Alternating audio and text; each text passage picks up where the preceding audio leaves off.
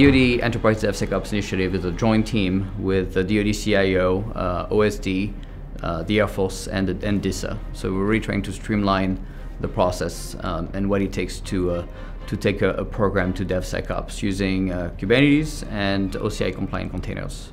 So giving us the ability to uh, to move faster and be able to continuously push software and update software, particularly when it comes to AI and machine learning uh, and cyber offense and defense is, is critical for us, of course, security is a, is a must. Uh, that's why we, we call it DevSecOps. The, the sec is not just you know doing some uh, static dynamic analysis on your code. That's the given. We're going to uh, to the continuous monitoring side of the house with zero trust baked in, uh, with a, a behavior detection model, uh, really pushing the envelope when it comes to, to security and uh, kind of merging the best practices on, on the cyber side with the DevSec the DevSecOps community.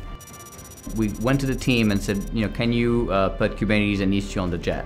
And we didn't want to change the, the hardware of the jet, so that's legacy hardware, uh, no, no cheating, that had to be able to boot uh, from scratch in two minutes uh, with uh, the microservices and the, the Istio stack running.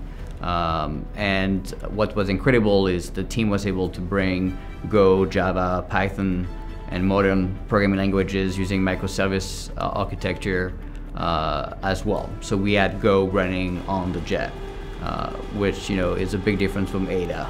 So we were able to do that in 45 days. It's, it's pretty incredible because once you can you can deploy uh, fast and iterate and learn fast and, and fail fast but don't fail twice for the same reason. I think the, the key aspect there is that it's, it's compounding the, the time savings. And it's, it's very tough to, to have a very precise number, but we're thinking at least 100 years was saved across the 37 programs already. If Kubernetes is good enough for the DoD and our weapon systems, it's certainly good enough for your business.